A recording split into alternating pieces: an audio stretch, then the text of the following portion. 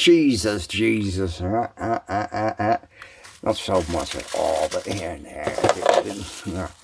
I, I gotta skip on sausages, even there where it is. Uh, the vitamin D just like Count Dracula there. I avoid sunlight. I went out doing groceries in the dark.